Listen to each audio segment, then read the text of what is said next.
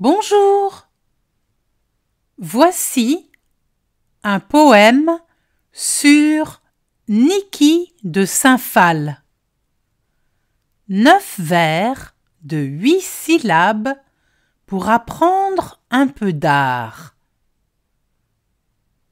Écoutez et lisez avec moi.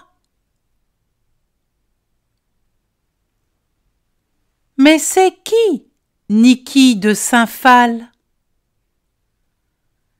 C'est une artiste française connue pour tous ses grands corps rebondis aux petits pieds et couleurs vives. Fabriquée en tissu, grillage, papier mâché, polyester, les nanas de Niki sont grandes.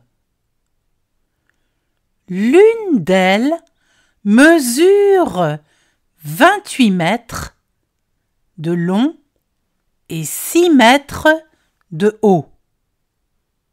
On peut rentrer à l'intérieur. Marie-Odile Guillou